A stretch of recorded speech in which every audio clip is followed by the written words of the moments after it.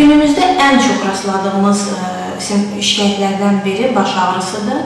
Baş ağrıları birincili və ikincili olur. İkincili baş ağrıları hansısa bir xəstəliyə bağlı olaraq yaranır. Birincili isə heç bir xəstəliyə bağlı olmadan yaranan baş ağrılarıdır. Bunların arasında ən çox rastladığımız miqren xəstəliyidir. Miqren xəstəliyində şikayətlərimiz nədən olur?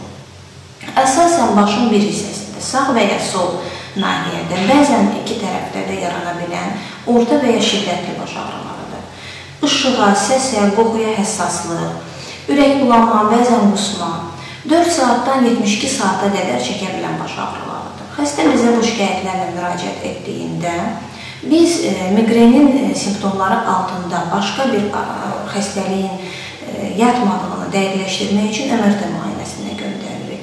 Artıq miqren diaqnozunu qoyduqdan sonra, müalicəni yazdıqdan sonra xəstəyə verdiyimiz məsləhətlər hansılardır? Mütləq şəkildə yuxunu tənzimləməlidirlər, eyni vaxtda yatıb, eyni vaxtda durmalıdırlar, qidalarına fikir verməlidirlər, alkol, şokolad, kofe kimi qidalardan uzaq durmalıdırlar. Bundan da əlavə səsli yerlərdə, parıltılı yerlərdə çox olmamalıdırlar. Qaranlıq bir otaqda televizora və ya telefondan baxmamalı. Unutmayın ki, sağlamlığınız ən böyük xəzinənizdir.